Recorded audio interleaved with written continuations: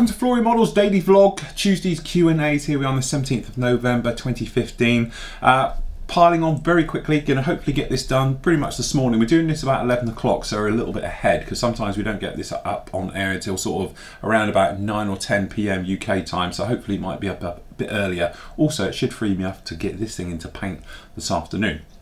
Anyway, straight into your questions. So, uh, Bryn asks, uh, Good evening, Phil and Sid. No Sid this week, obviously just me. Um, Sid hopefully will be with us next week. Unfortunately, he's working. Uh, greetings from Sacramento, California. Uh, could you, uh, sorry, could you please let me know what scribing tool, what is your go-to scribing tool, and are your products still available in Sprue Brothers? I'm very much a new member. I'm still getting uh, the head around the site. But from what I've seen so far, wow, thanks for all your hard work. I know it sounds corny, but it's inspired me to get back into the hobby. No problem, Bryn. Um, right, go-to scribing tool. To be honest, your good old-fashioned P cutter. Now, this is my Tamiya one, which I've had now for the best part of, I don't know, 20 odd years. Um, and to be honest, even like changing the blades, I, I have changed them and you can hear there's another blade in there, a new one, but it's very rare I actually change the blade and all the rest of it. I have got a couple of other things in my arsenal. I have a thing here for scribing, an area for scribing. So there's my other scribing tools. These are my other sort of go-to ones. Cheap, very, very handy though, is the Trumpeter one. It's a very fine blade. It's a finer blade than the traditional P cutter. Really, really nice. My other one, which I use quite a lot these days, and I didn't use it for a long time, but it's the UOM uh, scriber. I don't think it's as refined and as delicate, but as a general get in there and go around stuff, it's a really nice one. Also, it's got a straight blade on it as well, which is quite handy for doing round edges. The big difference between this one and perhaps using a traditional P cutter, things like that, is that this one you can push or pull, which is quite handy. Uh, and on this one, you can't either. This is really just a pull stroke one. But this trumpeter one, for what it is, I think they're about six, seven quid.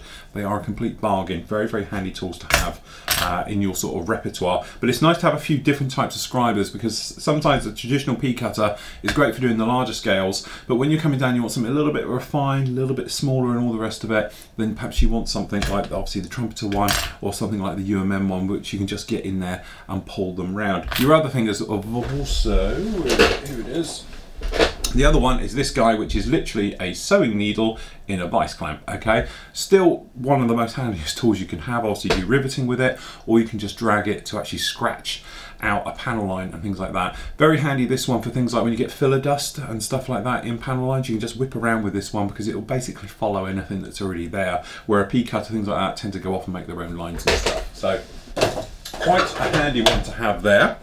Uh, as for products, I presume you mean the Flory Models range of products. No, they are no longer anywhere at all. Uh, if they're around, that is the last of their stocks. Um, the sales team, obviously it's separate from me now, they stopped supplying all of the, the actual shops, stockists, distributors, they, they have nothing anymore. You know, literally, the whole idea of it now is the product is so well known and everything else, um, they can sell direct, okay? And obviously, you might notice that the pricing now is a bit more keen for members. If you remember, you're going to see there's a discount price for it also. There's no increase in price. You think the price has never gone up on our product now in the last how long has it been going? Eight years, six, seven, seven years. Um, it's still the same price as it was before. Okay, so you know, literally, we don't have to put the price on there because nobody's taking a middleman cut and everything else. And you'll also notice that the prices for the sets are extremely keen these days. Uh, there are a lot. You basically get two bottles free if you buy a set of eight washes. You're getting two free. And the sanders, I think you're saving yourself individually something like 17 quid um, if you buy the pack versus buying them individually and things like that. So definitely from that point of view you know, come to us direct and we can sort you out. There is things afoot next year that are going to happen. We spoke about them briefly before, but basically um, they're hoping to open up quite a large store uh, and everything else like that. So by selling direct to you guys, it enables them to sell other things, shall we say, as well. So, but that's things to come in the future and nothing to do with me. Ah. Okay, Terry says, Hi Phil and team, very new to modelling uh, and at the moment just building or trying to build armour, finding a lot uh, uh, sorry, finding a lot of it hard, like when to clear coat, how to build tracks, when to brush paint, but I'm loving it. Finally, at 46, I found a hobby I love. I've just bought a load of Star Wars Bandai kits, but I'm not sure uh, if I should clear coat before adding the decals. Do I clear coat after I have finished um, the build. Also, is it okay to use uh, Hobby Spray Clear Coat, uh, which is the can, spray can clear coat? Thanks for your help, Terry. Clear coating, we spoke about this last week as well. Um, it's one of those things which is personal to you and depends on what you're actually doing. Now, my thing with clear coating is um, you're basically putting it down either to protect a surface, okay, so we said before, before you're coming in with weathering, anything else, you're happy with the paint job and you're putting it down to protect it, or you're trying to put down a smoother surface so decaling you don't get any silvering and things like that. As I say, we covered this at, at length last week, but basically, in a nutshell, if you are have got like a flat surface, you've used Tamiya flat, you probably will want to put down a clear coat anybody's clear coat will do. At the end of the day, as long as it's a gloss, you should have a nice smooth finish which will you know mitigate any type of silvering or any problems you can have with the decal. It just makes them conform and fit a lot better than going over a normal one. Now, it may be you're using a gloss finish anyway, so that way you don't need to actually put in a clear coat. But what I would suggest if you're using washes or weathering is to seal them down and a click, quick, click, quick, easy way to do that is with a clear coat. So clear as in good old fashioned Pledge multi-surface wax, okay? Or you can come in there with something a little bit more designed for it. So like a gloss or, I don't know, we got the, I think, uh, we got the clear coats down here, which is, we've got the Alclad stuff and Aqua stuff and all the other clear coats down there as well. So it is literally personal choice on when you want to do it. There is no rule book you know, technically though, the only rule I would say is before I do any weathering, I will clear coat to protect the decals because they are going to be your weak point because you might come along with enamels and things like that which could attack the decal, make it shrivel up, melt, whatever you're going to do. This should protect it quite nicely from any sort of weathering and also it just gives you a protective barrier. So handling your model as well, it will stop you wearing through the paint and things like that. But de definitely it's one of those things, a bit of a learning curve to it watch some of the video builds about it, see some of the guys when they talk about using it as well, when to clear coat, but usually it's in preparation of something else, so i.e. deckling or weathering and things like that. Afterwards, clear coating, obviously you can come in with a finish, so you could change the look of it, so if it's looking very shiny and you've got marks on it and various things, to blanket it and to tone everything down, you might come in with a flat coat, a satin coat, or a gloss coat, no matter what you're doing, as your final finish, okay? And you do it like that. So that is really it on that one. As I say, we covered it quite a bit last week. Speaking of which, Ian Fox, um, unless I'm reading these questions twice, of course. Uh, hi Phil, can you please ask the question about uh, pledge, which is this one. Let me get the other one as well.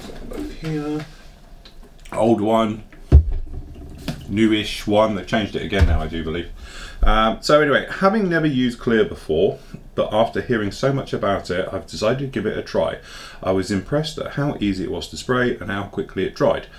Uh, more so than many other expensive products.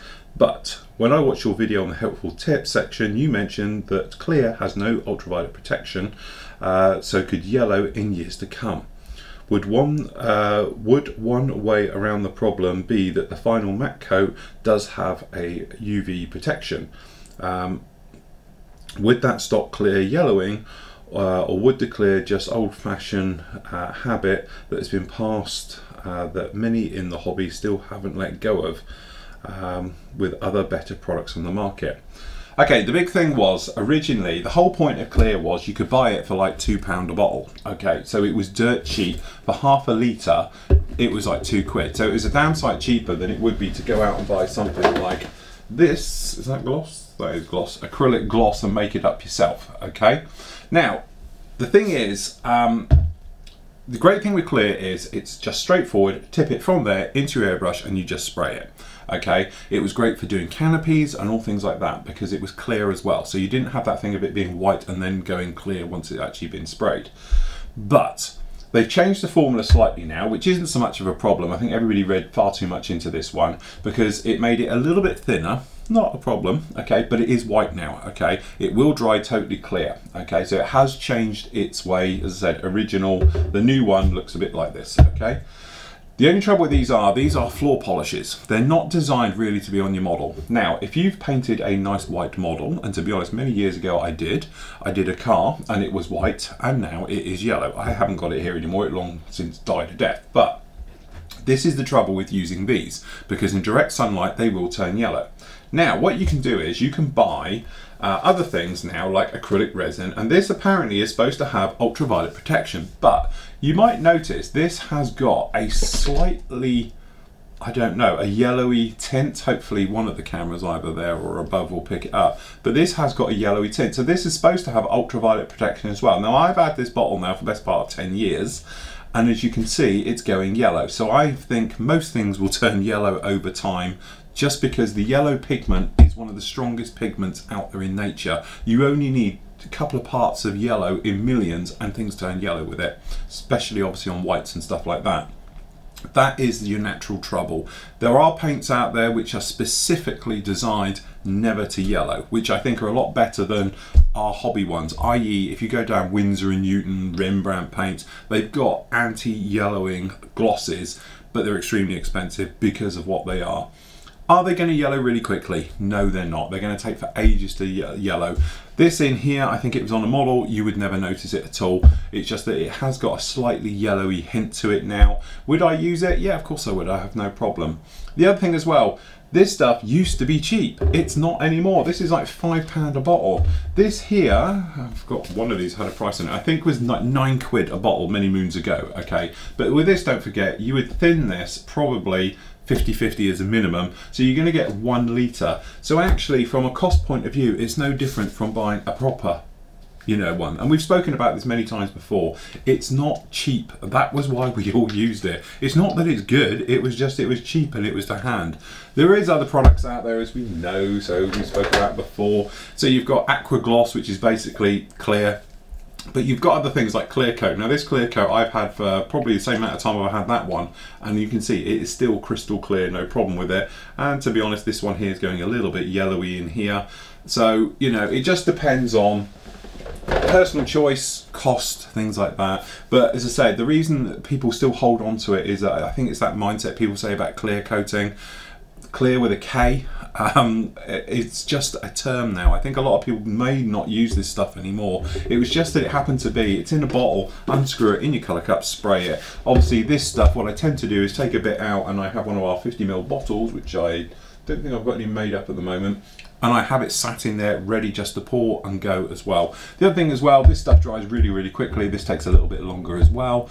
But again, it's just personal choice and just way of doing it. But 10 years ago, or definitely like five, six years ago, Klear was the big thing. Then they stopped making it and everyone panicked. And again, it brought everything to the forefront about it and everyone talked about it and spoke about it.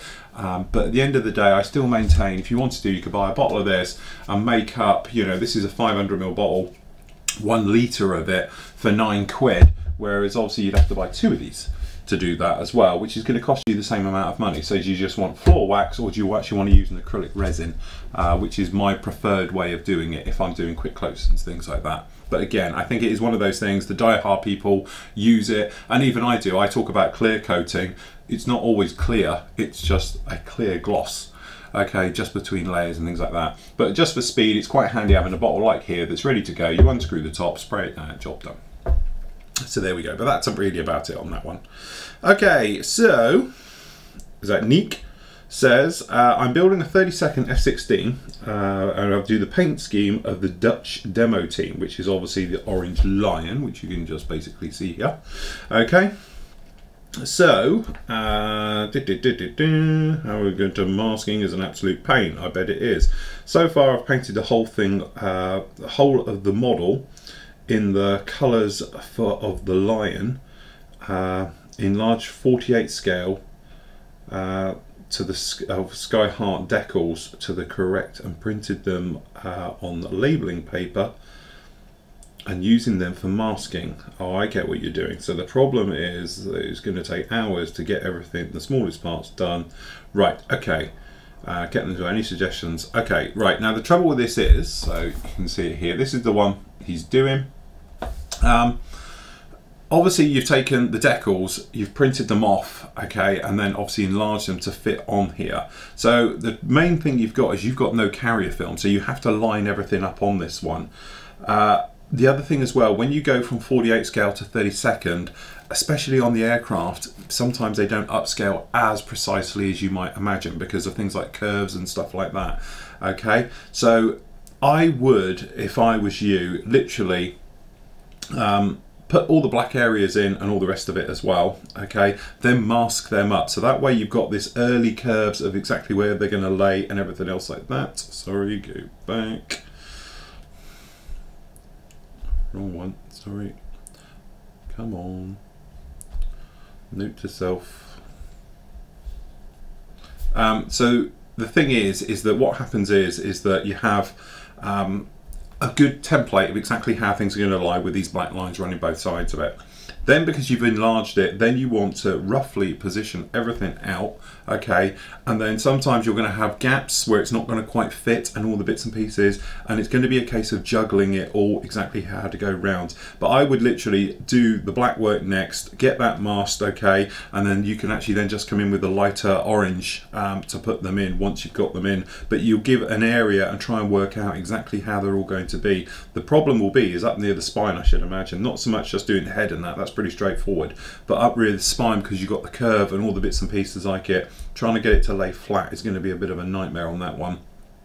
To be honest, there's no quick answer. It's just one of those things you're just going to take your time and you're just going to push on with it and try and get the best line out you can. It may be the thing where, you know, you have to do some little touch-ins afterwards, little blow-ins, things like that to join up stuff that you haven't got before it's not an easy scheme to do. That's why people don't go out and do it. Um, as I say, just enlarging decals sometimes isn't always the best way. I know from my personal thing when I've done commission work and people have wanted markings, I've done something similar and I've upscaled decals and then you know try to put them on. doesn't quite go because things don't scale necessarily as you would think. Um, but yeah, it's a nice scheme. Hans is doing that one. He's doing it in, I don't know if he's doing 32nd or 48th, but um, he's got that one on the go as well.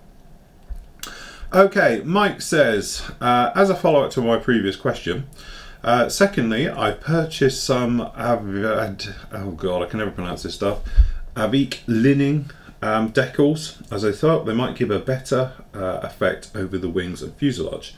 However, I wonder if you've had any experience applying these decals uh, with particular regard to the pre or post shading as I imagine that they would uh, they would cover any pre shading yes they would because they are a decal so it will cover um, Avit, Avit, I can't remember how you pronounce it. So a range of linen effects in 30 seconds um, in P, uh, RFC colours. Uh, I've also seen various uh, seen various forums that show the models with these decals applied. Uh, I believe the manufacturers do this type of decals also. From what I gather, and he's done a load of links down here below, the decals are much thinner uh, uh, and more delicate than the standard decals, which is why I wonder if you'd had uh, used these um, and if a, a pre-shading would show through or if the post-shading is the best method. Right, funny enough you mentioned this, that we were approached by them at Telford. They came over and showed us their decals. Um, they're not delicate, they are as tough as nails. They've got a very, very clever printer that prints these things out and the dot ratio is extreme. So it's actually printed. It's not like your standard silkscreen printing the way you'd normally do decals. These are actually put through a printer and done with it. They are very, very tough because I felt them. They had half of it stuck onto a wing and then we had a feel and all the rest of it. Very stretchy, but you can't post shade with it. You're going to have to pre-shade with it because otherwise nothing's going to show through and all the rest of it. They're really tough though because I was pulling on it like a good one. They're very stretchy, very strong, and they seem to conform extremely well. You buy them in sheets. They're like A3 sheets. Well, not quite A3. yeah, A3 sheets it would be of this stuff, uh, and you put it down, uh, and then you can cut it to size and all the rest of it. Hard as nails. Very, very nice. Um, I don't use them because I don't do that type of aircraft as a rule. I've only done a few things of them, but generally I'd give them a go because they do look very, very nice, very tough, and they did look nice, I have to say. When they showed it, you look right up at it. I've never seen a printer do that type of effect uh, printed, and they had two types they were showing. They had a bit of wing, and we were pulling on it. It's very, very tough. You're saying it's fragile. I didn't get that impression. It seemed tough as nails to me. You could literally stretch it. You know, you couldn't do that with normal decal paper either. So um, yeah, very, very nice. But uh, you would have to post shade it. There's no way you could pre-shade it because it would just cover everything up. Okay, so uh, next one uh, Ryan has done here, we can see a little picture of it. There we go. He's done a very nice Stuka. So I'm relatively new to model making. I've just finished the Airfix Stuka. Uh, while I'm pleased with the overall finish, uh, the white of the decals looks super bright uh, against the splinter camo, uh, making the decals look out of place. Uh, I need to soften the look of the decals. What would you suggest?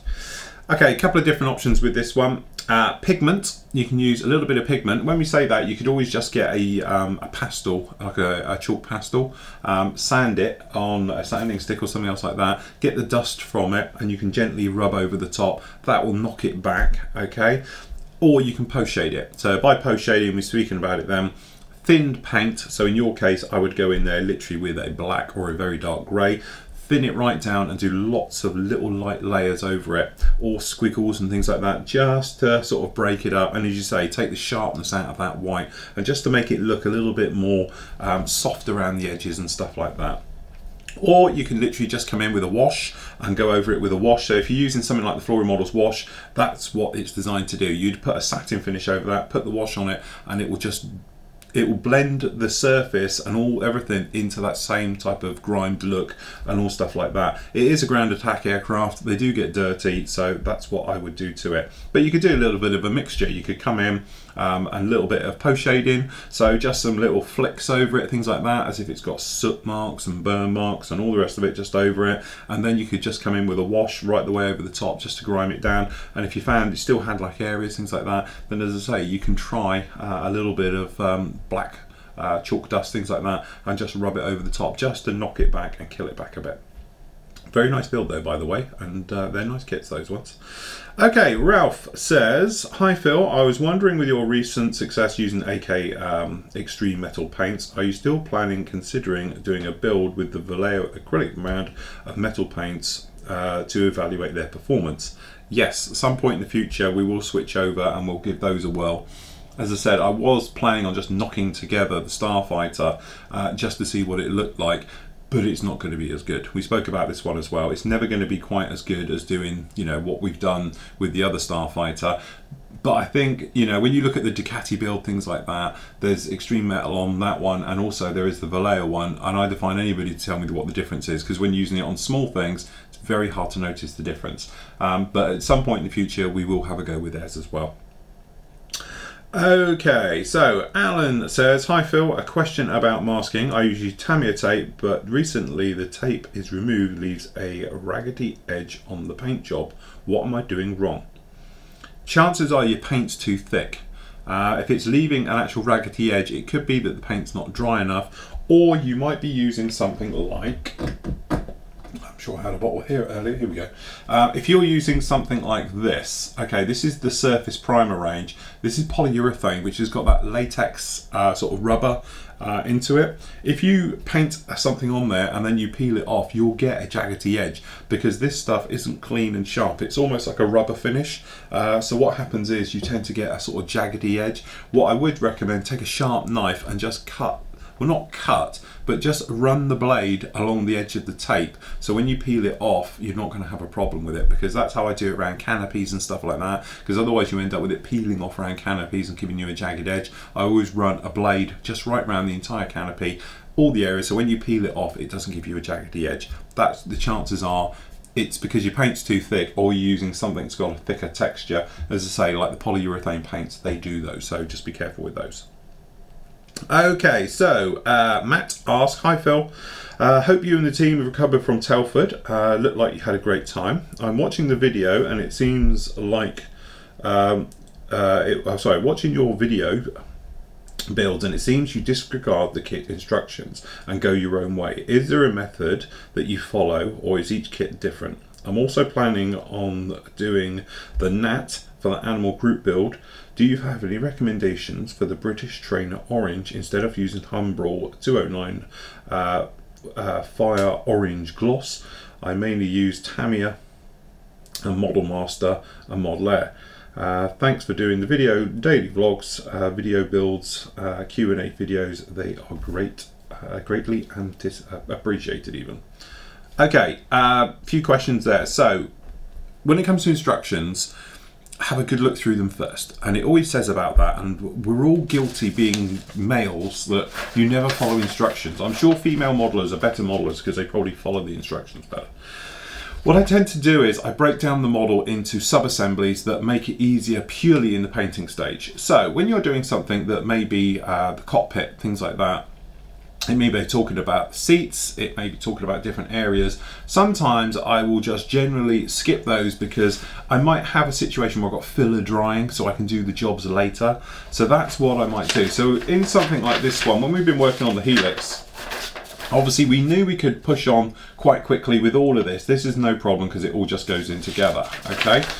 And then obviously we've got the other areas. The rotor head, uh, to be honest, I did that slightly separate. That came, I didn't do that yet. I, this all went together, okay? Then I did the rotor head, okay? Then we have done it in order for a change. So we have put these bits in in basic order okay? This is where it starts to get different obviously because it's talking about putting things like you know windscreen wipers and stuff like that on. Normally if it was an aircraft I wouldn't put all these bits in now all these small parts down here purely because I'm going to put a wash over it and I need to wash them off. As I explained with this video build, I'm building it more like I'd build armour because the weathering is going to be extremely similar to doing armour versus doing an aircraft purely because it's a helicopter and they weather very similar to tanks and things like that. Okay, generally this probably isn't a good example because I am following it pretty much as it is on here. Okay, but I do the other thing when you see like undercarriage. Obviously, you're not going to put undercarriage on an aircraft when uh, are you going to paint it later? Because otherwise, you've got to mask up all the undercarriage, and you get the risk of the danger of them being snapped off, things like that. So I tend to avoid those. Armor as well. Sometimes I'll do different stages, things like that, purely because of painting. So obviously stowage items going on, you wouldn't put them on because I'll paint it first, then I'll put the stowage items on afterwards, unless you're going to do it at the same time and paint them when they're on board. Sometimes I do, sometimes I don't. Okay, it's just personal choice how it's going to go. If it's something that's going to be roughly all the same colour, like the Bradley, I might put it all on first then paint it afterwards because they're going to be in the same type of colours and it's just little detail works coming out. If it's something that's going to be totally different, like an axe handle is going to be in wood and it's a metal head, I might put that one on afterwards and paint it as a separate item. But generally, you want to build your model the easiest way for you, not the instructions. The instructions are showing you how to build a model. They're not showing you how to paint it. Okay, so, so you might think to yourself, well, look, okay, we'll leave the glass work off and put that on afterwards. Um, you know, you might put the gear. To be honest, we're to this stage roughly here. The reason it's in clamp is because the parts don't fit and we've busted a seam trying to put these filters in on the front. But like here, obviously we're not going to put the wheels on because we don't want to paint them yet, so we'll leave them off and things like that. We're not going to put the rotor head on and fix that in now because we're going to paint that as a separate, that'll go in later. Same with the blades and all the other bits and pieces.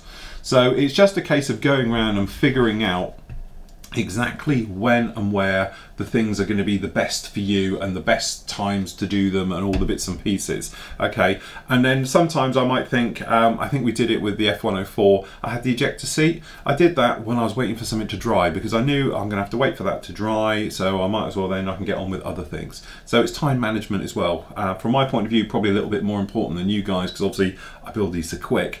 Um, so it's you know it's more important for me to sort of work it out how it's going to progress how things are going to dry and then I can think well I know it's going to take a couple of hours to dry I can do the ejector seat at that point so I might not do the seat till later. Um, and then obviously thinking ahead to making sure things go in because I have been caught out before where you build ahead and you suddenly think hmm can't get the seat in.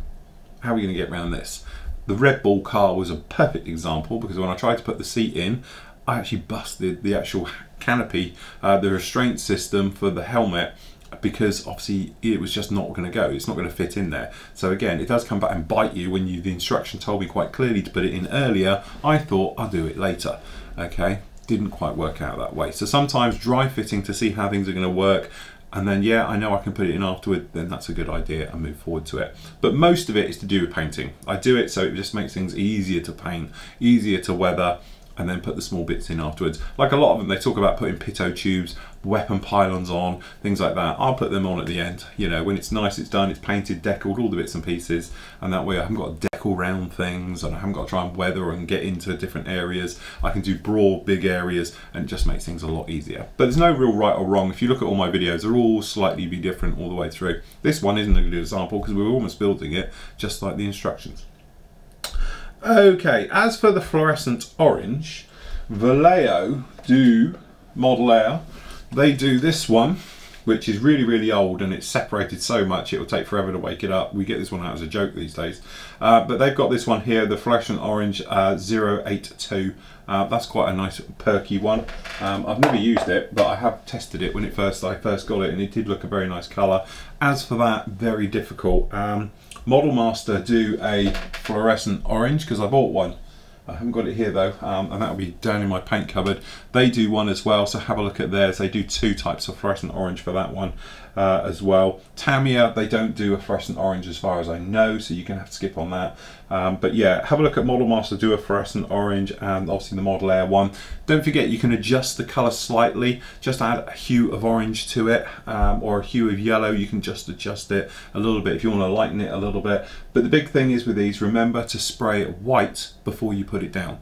So mask the area that you were going to do in the day glow. Make sure you put white down first and have white as a primer. It will make the colour pop. If you put it over something dark like grey or something darker, it's going to take forever to come through and shine through. So to give you the strongest possible uh, colour of the actual day glow or the fluorescent colours, then obviously use a white base for it. Okay, so get a white primer down there or just a white XF2 or whatever you want to do, then put that over the top and that'll help you out no end. Okay, so uh, Brett asks, uh, with Telford um, all done now, what kit or builds did you see that were going to get your mojo back? Um, any candidates for next year? And actually, I did put up the video of this one, uh, which is the Shackleton. I love the look of the Revell's Shackleton. Um, we've got the little video down here, if it'll play just here. It is going to play. Um, you can see it just whizzing around here. Uh, this really took a surprise. I wasn't expecting to see this on the stand. In fact, I was that impressed by this one, I didn't realise that they had the Tornado uh, GR4 on their stand because I was too busy looking at this one until I got back to our stand and someone mentioned it. Um, this looks stunning. Also, it's got the bulbous chin bit on the front, uh, which is the um, the uh, was it the A I don't know I think it will show it on the video at the moment um, but this is the AWS2 version uh, so you get the bomb bay and all the bits and pieces in there. Um, but that is the one I'm looking forward to. Really going to do that kit. It's due out first quarter next year. It's the Revell Shackleton uh, 72nd scale and it looks a million times better than the FX one. That's well, for my opinion anyway. I know Jen did a great job on hers, but that one absolutely looked like a stunner to me, and it's in my preferred one I like to do. I like it with the radome on the front and all the rest of it, rather than the Airfix earlier version. Uh, David says, uh, just uh, to say, enjoyed meeting you at Telford. Uh, you and the team at Telford, keep up the good work. Thank you, David. Nice to meet you. Great to see so many of you walking around in Flory Models tops. Everybody thought you were all working for us at one point. We had one company come over and said, how many staff do you have? It's like, not technically all staff, just members. Okay, Simon Webb. Ages ago, I asked you about reference books and you said the internet is your best friend. I took it you meant uh, the internet, internet is your best friend for aircraft images uh, because you didn't say specific publications of books. Yeah, that's what I meant. When we said about it last week, I showed you a couple of books. You can do those, but sometimes this is a classic example of the Helix. I haven't got a book on the Helix, but Google is absolutely rife with them. Um, the particular weathering I'm going to do and the style with this one, Google image search is absolutely fantastic. That way, sometimes people have done walkarounds, you can find them that way. So for instance, I just put in there KA27, comes up with all of them uh, as images. I clicked on an image which had a nice picture of it and it turns out it was walk around one and there's like 20 photos of it up there of this exact aircraft I'm doing as well. So that was absolutely fantastic and nice and easy to do. You don't need to go out and spend a fortune on books, but they are nice. Uh, what I've got is a series of books over there in a pile. I need a bookshelf. Um, and I've got ones on like the F16, the A10, and they give me the overall. So when I'm painting and doing like details inside bays, cockpit, stuff like that, I've got a perfect image just here next to me. But we are now in, you know, the sort of, you know, the future is bright and all the rest of it. My tablet is now my best friend because what I tend to do is Google image search on here, and then I can go along and I can come up with the image and then I can expand on it as well. If it's a high quality image and zoom right into the area I want, I have it here on my tablet, I put it here and I just copy it and do it just like that.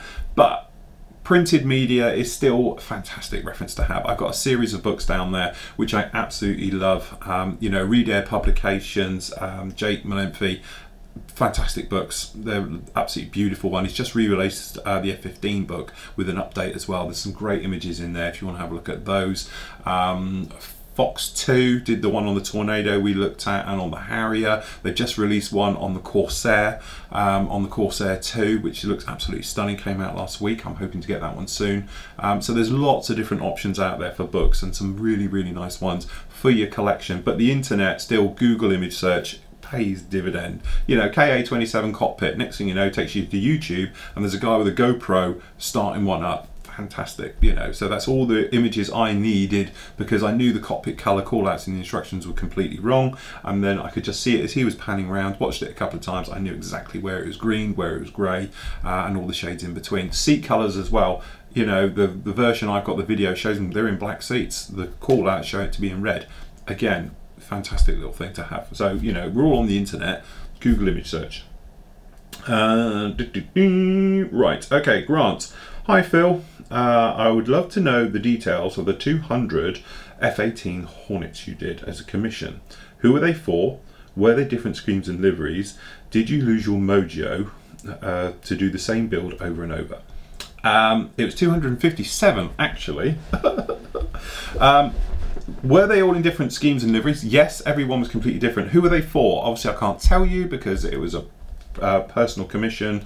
Um, or I can tell you it was a wealthy, I would say, uh, businessman in America. He's got a private museum. Um, it wasn't just me working for him, he had other people working for him as well. Uh, and I did the F 18s, some of the guys I think did A4s, uh, F4 Phantoms. But basically, I did every single scheme for every single squadron uh, Marine Corps and Navy, uh, and also I did the Canadian ones as well, uh, and all the rest of it. Some did some Australian ones, I think. So almost all the um, uh, F-18 Hornets from A, I did all the basically the legacy F-18. So I did A, B, C, and D versions. I did do a handful as E and Fs. Um, G wasn't even out by the time I finished doing the, uh, the commissions uh, and everything else. So yeah, all different schemes. We had decals, and then I, if we did couldn't find the decals for them, I used to custom do the spray job on them, or make custom decals for them and things like that. Did you lose your mojo? yeah, it, it was like Boeing, literally. I, you know, as I said, I think we discussed it. I had a um, my old workroom because it was a workroom before we had a studio. Um, it was basically a big U shape, and it started off with cockpits, and you ended up with packaging at the end. And they went through all different versions. And as I say, I probably had at any one time 20 F-18s on the go um, in different stages. They would be in batches of three in three sections. It's one of those things you go to work you know you're building. But it was quite nice because I was doing different schemes at the end. And to keep my sanity because I'm not just building cockpits for two years you know I tended to do like on Monday I might work on cockpits and fuselage assembly okay? And then on Tuesday I'll do something else. And on Wednesday I'll do something else. But then if I get a bit bored I could say on Monday oh I'm going to do some decking today because I have some preparing decking stage as well. Uh, and that way you've got things drying sanding filling primers. I had drying bays as well to speed things up and else. But we're not going to have three a week as a on average, uh, and all the rest of it. And said the hardest point was doing the custom paint work on them. Um, that was the, the, the, tricky bit because some of them obviously you just can't get decals for, so you'd have to custom make them. So that either meant um, upscaling 170 seconds or downscaling 130 seconds, uh, or just basically completely scratch doing them uh, and try and custom make them as best as possible. Uh, but yeah, very nice. By the end of it though, um, my contract was up for renewal and I kindly declined it.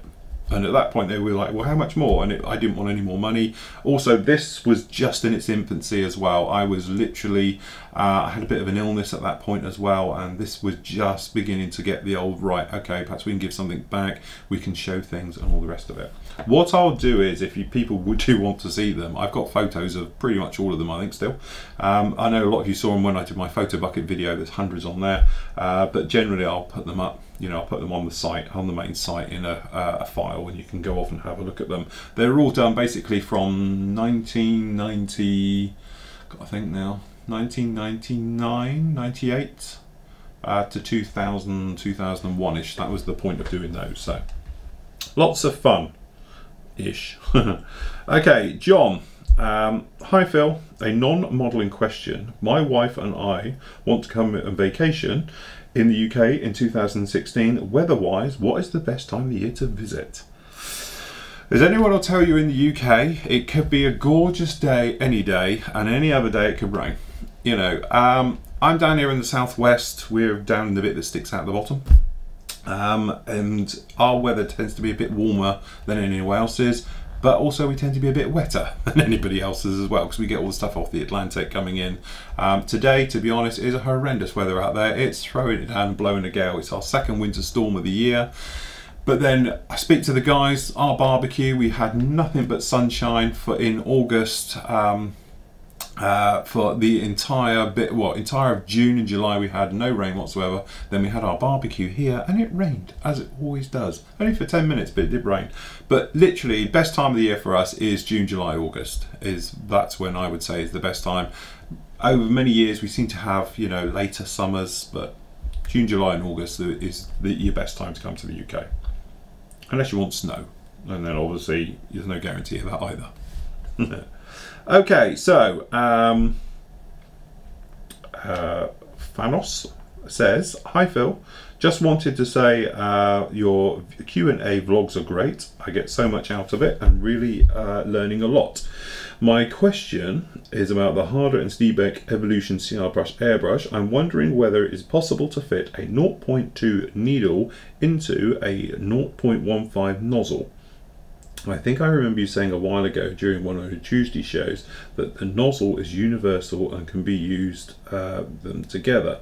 I have a 1.5 needle nozzle set already, but I don't want to go to the expense of buying a 0.2 needle and nozzle set if I can just purchase the 0.2 needle. Now, I lost, I think, my bit of paper, didn't I? I had a piece of paper here, which is really, really annoying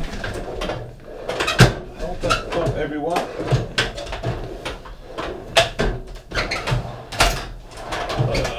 That's a real pain. Um, I'm pretty sure, in fact, it's a really, really pain. I had a piece of paper which had the exploded diagram with all the parts callouts for the uh, Harder and Steenbeck airbrushes, and that's really a thing. If I'd pre-read this, I would have had it handy.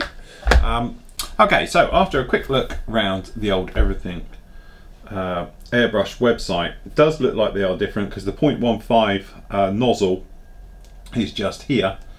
Okay which is this bad boy just here and then they also do the 0.2 and 4 uh, the thing we were getting uh, mixed up about is this guy down here. This is the end cap. This is what we're actually talking about. The 0.15 and the 0.2 is the same one. 0.4 is bigger okay uh, and then obviously I think you got a bigger one for the 0.6 as well. Okay but that is the one we were talking about. It's the universal. It's not the actual air nozzle and needle. Those both need to be 1.5s it's the end cap or like you know the two prong bit and all the rest of it because the 0.15 and I can't make it bigger and the other one uh, actually use the same one. Okay? So if we can get this to go bigger here we go yeah that's the one there. So that's the 0.15 with the 0.2 as the end air cap. That's the bit that screws in the physical end not the brass bit or the needle okay? So you will need separate ones for that. Excuse me there we go got to that one in the end. Okay right uh, where were we? Uh, right was that the end of that page uh, logo, F18s, life, nozzles, there we go. Okay, Phil asks, G'day Phil, I'm looking to build three types of 132nd aircraft, the F4 Phantom, the F14 and the F18. I'm looking at many different view reviews of the builds, I'm still not sure of what brand to go for. I have the Phantom F4J, uh, Tamiya, I'm still looking for the two others. In your opinion, what is your uh, what would you recommend I know the Tamiya kits are good I'm just looking at the others don't mind a little challenge uh, but not too much as I lose interest quickly okay well basically um, if you're thinking F14 I've done the trumpeter one. We've got the full uh, video build of that one. I think it's better than the Tamiya. I built the Tamiya one. I know the purists out there will say about the Tamiya one, but yeah, you've got to rescribe it. The front end, if you go with the bomb Bombcat version of Tamiya, is uh, recessed panel lines where the entire back end of it is the old A version technically uh, is all raised panel lines so you have to rescribe it. Save yourself a lot of heartache and just get the trumpeter one. Beautiful kit goes together really really well and I thought it went together just as well as the nice as the Tamiya one. Uh, as for Hornet in 30 seconds if you're talking the legacy Hornets are obviously A, B, C, and D, then you've got uh, the Academy one is a beautiful kit. I've built a few of those now over the years. They are absolutely stunning. I'd like to build another one in all honesty. And then if you're thinking about the new ones, the Super Hornets as in the E, F and G types, then obviously Trumpeter is the only player in town for those. Um, and again, they are absolutely fantastic kits. If you're going to do the F version, buy the G because it's got all the correct lumps and bumps that they forgot and missed when doing the F version um, and all the rest of it. And you, you get all the weapons, all the bits and pieces in it as well. So I've got that kit upstairs to be honest, and it's something I'm planning on doing in the future. Okay, so uh, Lando says, Hi Phil, love the site and your work. It has really helped me become a better modeler. Thank you very much for that. Question one I want to buy some lead wire from Plus Model. What sizes would you buy for 148 and 132nd scale aircraft? Obviously, it depends on what you're wiring. Um, I've got down in here in my wiring set. I've got various sizes down here, but I suppose my most used ones are is probably I do the 0.2, 0.4, 0.6, 0.8 and 1 mil. Um, but to be honest, these are such handy things to have that sometimes it might be just to buy the set. Okay, you got nine in the set. I think isn't it? One, two, three, four, five, six, seven, eight, nine. Nine in the set. They're not too expensive, but you know, if you're going to do it two, four, six, eight, and one mil, one mil is really good for doing big fuel lines and hoses and stuff like that. But because you are dealing in the larger scales, that's it. But to be honest, I don't think you can go wrong with buying them all. Uh, they're really nice. You have got other options. To be honest, I have a roll here. I've been using it on this one. Um, it's just to go out and buy fly tying uh, lead wire. It comes on rolls like this and it is really really cheap I think I paid probably the same as one pack of that as I bought a box full of this stuff for um, and it's really really handy Again, it's personal choice, hoses, sizes, things like that. It's what looks right to the eye. Sometimes in scale doesn't work particularly well, but there is no rights and wrongs to it all. So, you know, either bite the bullet and just buy a pack of each and you'll be sorted probably much forever, um, or just go for two, four, six, eight mil, maybe 10 if you want to. The, the, the sorry, the big one mil one um, the big thing is with that one is is that uh, you can probably get away with using um, other things for the really thicker stuff. You know, just normal wire, for instance, copper wire is dirt cheap, uh, and obviously using sprue stuff like that for the big sort of one mil. But yeah, the 0.2, 0.4, 0.6, and 0.8 I use all the time. The thinner stuff, you know, is great for doing wiring. You can scroll it together, scrunch it all up, make a bunch like a wiring loom, put some Tamiya tape around it, and it looks like a loom. Things like that. You can do some pretty interesting things with that one. Okay, question two. Where do you buy white tack from? Uh, what brand do you prefer here in the US? We have so many different ones to choose from. I can't remember who mine actually is. We've had this up before. I know I've got rid of the box now. Uh, I've got a feeling mine's from Uhu, as in uh, UHU. Um, white tack, it's just the oil-free version of it. You get blue tack has the oil. If you put it on walls, you get like oily mark around it. White tack doesn't have that, okay, uh, and everything else. But yeah, Uhu is my brand that I use. Pretty much you can get that anywhere around the world. Um, never had a problem with it. I don't have any. Some people say about it sometimes breaks down uh, and leaves residue behind. I've never had that at all. So just been lucky I guess with that one. Okay question three. Uh, will you do a show uh, sorry will you show us your Airwolf model in the display cabinet behind you? Uh, do you have a video build on doing the Airwolf by any chance? That's a long time ago. I don't know if I can get it out. Hold on. Um, we'll see without destroying everything it's behind a load of stuff to be honest. He's a bit dusty uh, this particular one, we did, it's very dusty in fact. He needs to come out and be resurrected. Uh, yes, we did Airwolf many, many, many moons ago um, as part of the free um, news shows. When we used to do the bigger news shows, when to be an hour long on a Friday, um, it, it was part of that build. I did a series and we put them in there. They were like 10 minute sections each week. Um, the only thing, I got up to the part of doing the rotor heads and all the rest of it, then we stopped doing those shows, so it wasn't shown anymore. But basically, yeah, he's still here, he's all done and finished and everything. I did finish him off off camera uh, and the bits and pieces. Um, as I say, personal favourite of mine. love that thing. I wish they'd do a 135th one uh, and all the rest of it. But yeah, if you go back through the the shows, if you go to the search on the Flory Model site and just put in Airwolf, the chances are you come up with a review, but also you might find one of the clips. I might have used it in some text somewhere, okay, and then pop it in, and then that way it'll give you a date, and then just watch the Friday shows um, when we used to do the new show on a Friday, and you'll see it in there. We spoke about this one because we used obviously black work, gloss work, uh, and all the bits and pieces, but it was part of a free show, which must have been four, five years ago now, and we did that one. But yes, needs a dust actually. I think I'll do that after we finish recording this because he's a bit of a mess. Okay, Alan Stillwell. How are you, Phil? Hope you're fit and well and recovered from Telford. Uh, quick Stynylrez question. Uh, uh, you gave the Starfighter an initial spray with a grey primer before you went with a black coat from the AK Extreme. Would the black Stynylrez be enough? I found it gave a good surface to spray uh, the Mr. Metal colour on my F uh, 100C. No, it won't work. Um, the Mr. Metal color stuff is a thicker paint. You know, we got it up there. Um, it, it, it's it goes on better. The thing is with Stynylrez, I did try it in testing and that's why we backed out of it. When you watch the review of it and the actual full build, as you see I do Stynylrez and originally I was going to spray onto it. When I sprayed onto it in a test piece, it was flat. It just didn't buff. You never had a nice real metal luster. It didn't give it that thing. Yet you put down their black base on, suddenly bang, it's like, wow, that's fantastic. We love it. It's amazing stuff, okay?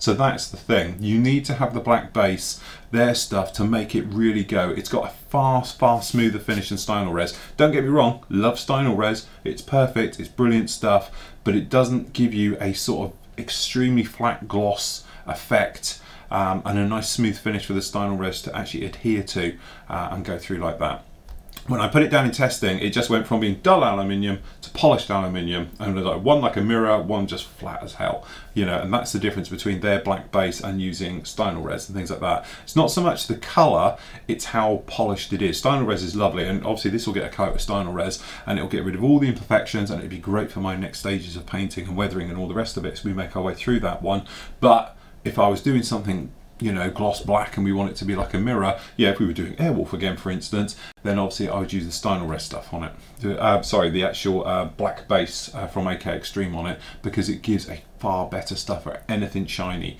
than I've seen before. So it really is that nice. Okay, uh, Dennis says, Bill, what's your space shuttle build? And I notice you actually never sand your models wet. Is there a reason? Uh, or is it just not necessary?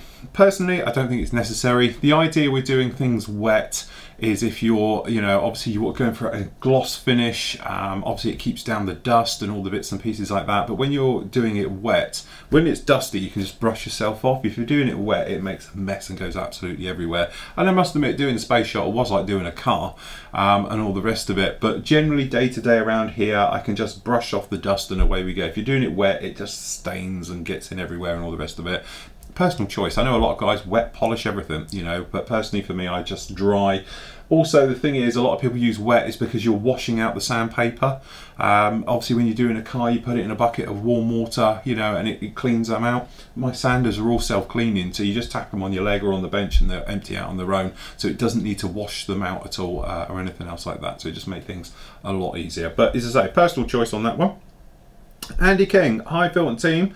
Thanks for a great site, uh, helping to keep us all sane. I won't go that far. Okay, uh, three quick questions. I just completed a two-year build of my Revell uh, F14D. No wonder it took you two years. Horrible kit.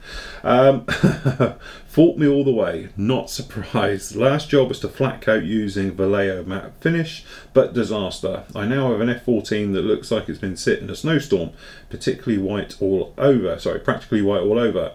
How do I get the grey colour back? A gloss varnish to cancel the extreme matte. What's happened is you've got it too heavy. Um, in too close, too heavy. What happens is the particles in the white, i.e. that's why this looks like it is, you know, obviously it's all got dusty bits in there in a solution. Those dusty bits is what gives you the texture that makes things flat okay technically you've just gone in too heavy and overdone it instead of it being a light dusty coat from afar and give you that effect okay the other thing as well if you've used I did you say use uh, Vallejo matte varnish If it was the black top one, uh, for using their matte I would still always thin it as well. Okay, put a little bit more thinners in there to break it down a little bit more. Uh, but generally, what's happened is is you've gone too much, too heavy, and it's just built up too fast. Okay, so it's giving you a massive texture effect and all the rest of it. A couple of things you can do. Okay, none of them are pretty. Uh, the first one is to physically sand it off. Literally a very, very fine um, thing. An old sanding sponge, a polishing sponge, just whip over it. That'll take the texture down. Satin coat over the top, you'll have no problem with it at all. Or, as you say, try and hit it with a gloss. The only trouble is it will be rough as hell when you touch it, but it might make it a little bit better to see through and all the rest of it. Okay, uh, I'm thinking of buying a spray booth. Which one do, uh, do you use? And what features do you look for? As you say, I've got two types. I have my um, Aircon ones, which sit here, which is the bigger one, uh, two of them together. You can daisy chain them together and put as many as you like. They're half the price than the one behind me and do exactly the same thing. Okay, they're a little bit more noisy uh, and all the rest of it. This guy up here, we spoke about it. I'm just about to change the filter actually. I'm going to have my second filter in there, which is brilliant because that one's lasted actually longer than uh, technically the expensive ones. But this one over here is a Graphic Air, 300 quid plus.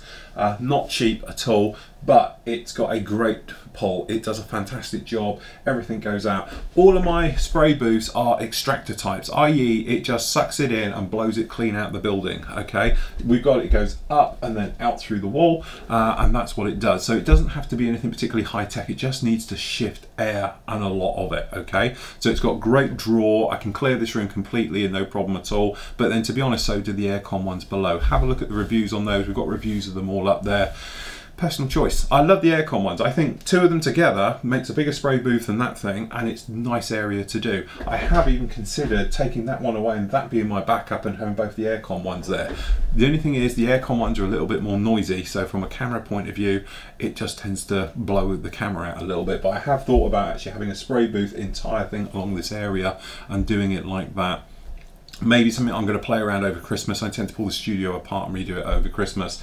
Uh, we're going to redo the paint rack and things like that. But generally down there, you know, I think there's a better option, shall we say. So I might be going down that route. But at the end of the day, you just want to get it out. Don't try and purify the air because it never really works. The smell will linger. You just want to get it vented externally. So if that means putting a hole through your wall and having a duct going through or a window mounted one or something else like that, just get it out of the room. Roughly they all do the same things. At the end of the day, it's price. Go cheap, 30, 40 quid, 100 quid, you can buy a Chinese knockoff job. Fine, the fan and them are pretty lousy. They don't draw a lot of air. Spend 150 quid, um, you can get an aircon one, 38 watt motors, really, really nice, does a, a, great job and all the rest of it. You can go for something over there, I can't remember what size watt motors they've got in there, but it's quite big. They're 300 quid, okay? Personal choice. You know, at the end of the day, all you're doing is shifting air and kicking it out the, getting it out of your room or your area. Okay, and that's really what you want to concentrate doing. There is other options. I know people make their own various bits and pieces. Don't so much go down that route. Um, these things have got fans that are designed to have chemicals going through them and all the rest of it. They're sealed units and stuff like that, rather than using just a fan that's blowing it through. You know, we don't want anyone blowing themselves up. I've never heard of it before the do-gooders say, hold on. I've never heard of anybody killing themselves with an extractor fan that they've made up out of some, you know, computer parts step and bits like that. But on paper, it could happen. That's all I'm saying. So I'm not going to say do it because somebody might blow themselves up, but I've never heard of anybody doing it. Okay, three. Did you make a video on packing models for postage? If so, where do I find it? Yes, I've done it a couple of times. Uh, it's around, again, if you use the search on the main site, things are keyworded quite well, uh, and these things do pop up. So if you put in there about packaging your models, uh, it'll come up as a keyword, it will link you to the video and do something else like it. I've done it a couple of times over the years uh, and shown about sending how I used to send commission models around the world and all the bits and pieces. Uh, thanks for your advice. P.S. Uh, even though you probably not pre-read this, we still love Star Wars too. I'm 47, I've been a fan from the start. Uh, so you just carry on with the Star Wars videos as well as everything else you'd enjoy doing. Roll on December. True. Thank you very much there, Andy, from Guernsey. Okay. Oh, look, no, he's back again. Sorry, Phil. Andy again. One last thing. I've just returned from New York and got some reasonable photos of various aircraft displayed on the USS Intrepid, um, uh, including the exterior of the Space Shuttle Enterprise and the SR 71. Uh, would the members be interested in me putting the photos up around 150 of them on the site uh, on the reference uh, for site for reference? If so, where? Um, I think we have got a reference area in the forum. Just pop them in there. Yeah, love to see them. I love looking through all the photos and then say great reference ones. I'm pretty sure we got a reference area in the forum. Just pop them in there and we can go from that. Hi, John Buller, our very own John. Thank you, John, for helping out at Telford and Lynn. You guys are stars. Uh, hi there. Uh, been a lot of debate recently on the internet about pre-shading, weathering, and panel line washes. Uh, one alternative technique seems to be the growing in popularity is black basing, i.e. using black base as a primer uh, to build up shades of warm paint effect uh, with thin base coats. Uh, have you ever tried this and what are your views on it? I used this method some uh, all the time when I was doing Games Workshop stuff years ago. I've seen armour guys do it but never really thought of trying it on aircraft. Again, it's one of those things that comes around.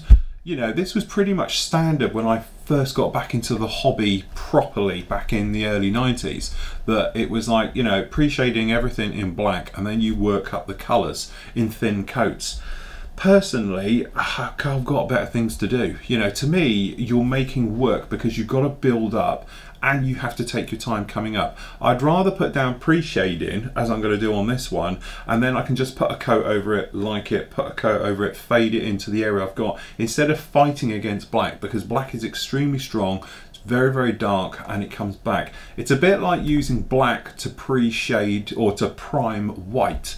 Now, I can understand the theory behind it because white, if you look at aircraft uh, undercarriage legs that are white, they look solid, chunky white, okay?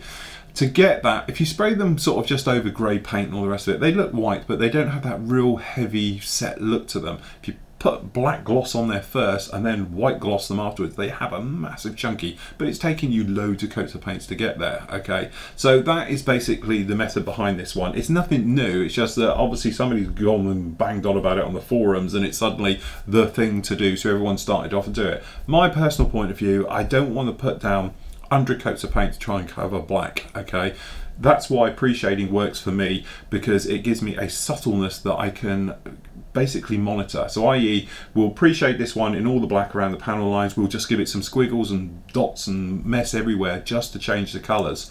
Then we're going to come in and then use that pre-shading to add uh, texture, depth and shadowing effects to the paintwork. So what I might do on something like this on the underside down here, uh, this area down the middle is lighter, these on the sides uh, are going to be darker. So I might put black down on the sides or just darken it up a bit, you know, a couple of sprays down here and leave this center section. So when you come in with the paint, this looks cleaner than it does down here. But that's what it's all about. It's just different ways of doing the similar things. And it's that personal choice. Some people love doing the black way and they'll do the black way all the time. For me it's not for me. Did do it wouldn't do it anymore because it just takes too long. It's too much flapping around and I think I can get the same results doing my way rather than that. And again we're talking about that thing where it seems to be a new technique that's come out and then everyone runs off and do it but sometimes the old techniques are the best. What works for you is should be your thing you know it's how you do it. You've got a system you know it works it's fine. It's great to try things because let's face it you might try it you might get on really well with the idea and then do all your work from it again. But for me I know it I used it didn't like it come back to the way I did it before okay and everything else like that. But as I said different things you know it's said that's what we talk about. If you do figures like wargaming and stuff like that because they're small it's not so much of a problem. But when you start doing a you know I don't know a 30 second intruder black and then you've got to change its color that's a lot of paint. That's a lot of layers. You're going to have to bring that up through to do it and that'll take forever. Uh, small stuff I can understand it. Big stuff probably not. Okay. And Steve says uh, Phil just a quick question. Uh, do all the Flory girls have names? Uh, do you ever come up with a name for the pigment girl uh, that I may have just missed? Yes we do. We actually have um, obviously, have I got them here? Hold on. Hold on, we might be able to show you. Oh, oh they do all have names. Don't tell me we're one missing. Who are we missing? We are missing pigments. Where's pigments? Oh god, always the way. Where is pigments? Wait, we have a set of things without a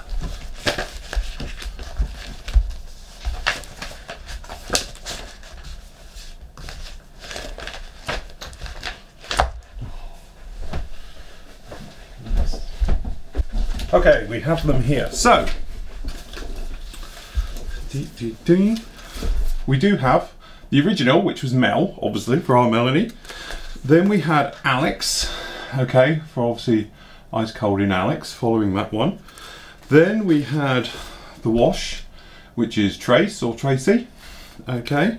And then we had Pigments, which is Lynn, which is our very own John Buller's wife, which was named after her. And obviously Tracy, named after our Tracy and Dave. Alex, Universal, and obviously Mel. So yeah, they all do have names. I have to run upstairs and grab that one. So there we go. Uh, right, how are we doing on this one? Uh, right, okay, Robert Wheeler. Hello Phil, greetings from West Virginia. Sorry if the question is a bit basic or stupid. No such thing. Trust me, we've all been there we all still ask him. I ask him all the time. I'm currently building the Meng Bradley uh, M3, A3, but not sure how to go about painting the machine gun or its metal colour without getting it all over the turret, uh, as it's in a bit of a hole. I was thinking I could take some Mr. Metal Iron uh, and if I did get some paint on the turret it can look like chipping. Thanks for everything you do. My subscription is one of the best and favourite things modelling tools. Worth every penny. No problem, thank you. Um, yeah, at the end of the day, I wouldn't worry about it too much. As I say, if you get a little bit on the side, you could call it chipping and all the rest of it. Small brush, that's the secret. Um, I use these little guys here. These are these little eye brush applicator brushes. You pick them up, they are literally a couple of quid for a couple of hundred. And I use them two or three times, then when they start to fall apart, I bin them. But they've got very fine heads on there. And literally just dab at it. Go in there and just dab it in put it in there and away you go. And if you do get any on there around there I wouldn't worry about it too much. And if you did you could come back with the external color and just run it around the edges just to do it like that. You'd be absolutely fine. But again I think that's one of those ones you would probably worry about more than doing it okay? The other option is of course you can get a little bit of paper slip it down the sides of it and then brush it and then if you do get a bit on there it will protect it and then take it away and do it like that. But honestly small brush steady hand and just get in there and give it the effect of and you should be absolutely fine with that one. That's what I did with mine anyway so I'm not even sure I did get it any on the side. May have done. Okay so uh, last question I think today. We've got uh, Anthony says hi Phil quick question to regards primers, have you any experience of Alclad micro filler grey? Uh, and if so, how good does the micro filler part of it work compared to other primers? What are your top tips uh, and views on primers? I only sprayed acrylics. I only spray acrylics, Tamiya guns, and occasionally Xtracrylix. I used to use it when it first came out. Again, it's one of those things we all ran off and bought it, and this is going back early 90s. Um, and I, again, I don't think it's any different from using something like a Mr. Surfacer. Uh, Mr. Surfacer, which uh, I got here, is it up? Yeah, Mr. Surfacer 1200. I think is pretty much the same stuff. It's very, very close. You can get this in a spray can as well. I've got a couple of cans of it up there. Um, um, that's really about the same type of thing. It's literally like a, um, as I say, it's like a basic primer. Some of the primers like Stynylrez now, even like the MIG stuff and you know Vallejo primers, the polyurethanes are very very good. They've almost got this sort of micro filler uh, thing. What it's basically going to do is smooth out all of your imperfections or that's the theory behind it and that is like Mr. Surfacer 1200 which is something I used to do not so much now with these modern uh, primers and things like that but um, this stuff is obviously a hot product, it needs a lacquer. So you thin it with lacquers, 50-50 mix, spray it on, gives you a beautiful smooth finish, really, really well, and basically is like a micro filler, uh, and do it like that. Because you're an acrylics guy, I recommend Stynylrez. Simple as that. Where is my bottle of Stynylrez? Anyone nicked it? It was around somewhere, I can't even see it now. That's a good point. Where's my Stynylrez? I'm going to need it shortly. I have to have a look for that. I don't even know where it is.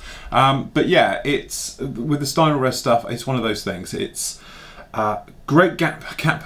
Can't speak. Gap capabilities. Okay, so it is going to fill all those small little imperfections, and if it doesn't, it sands beautifully within a few minutes, and you don't have any problem with it. it comes in a variety of colours as well. So obviously, I just use grey, but if you wanted to, you've got reds, greens, blues, yellows, and everything now, as well as black. Okay, but that's what I would do from an acrylic painting point of view. If you're using acrylics, that's all you want to use, then obviously I do that. Rather than using the sort of you know uh, the Alclad uh, micro pri- micro filled primer. So yes, that's all it is. It's basically a um, sort of a gap capability one, which basically means you get small imperfections, it will smooth over them and give you a nice finish. But generally now, you just want to keep it smooth before you start. But Stynylrez from an acrylic point of view is beautiful stuff to use. So there we go, that's about it for this week as I say, cover quite a lot in all of that lot. Hope you've all enjoyed it. Um, keep the questions coming. Love answering them. Remember, there's no such thing as a silly question. You know, at the end of the day, we've all got them. Some of them are more silly than others, but that's what makes it all part of the hobby. If you don't know it, it's not a silly question. It's as simple as that. So that's about it for me. Hopefully now I'll get this edited and all the rest of it. We're now half past 12. I can get upstairs, get this thing ready for primer and all the rest of it. If I can, get it in primer today, I'll be really happy. And then tomorrow we can get on with pre-shading it and making the way through with that one. And then hopefully I've got some nice kit reviews coming up at the end of the week. I've got a couple of aircraft coming in. I've got a couple of other bits and pieces, a couple of tools, various things coming in as well. So looking forward to that. Uh, and then we can actually get going on the Meng Terminator because that's going to give me just over a week to do the Meng Terminator. And as I say, I've got the replacement barrels coming from them and they should be in at some point this week, which are very excited about as well. So that's all for me this week. I'll catch you all next week with next week's Q&As.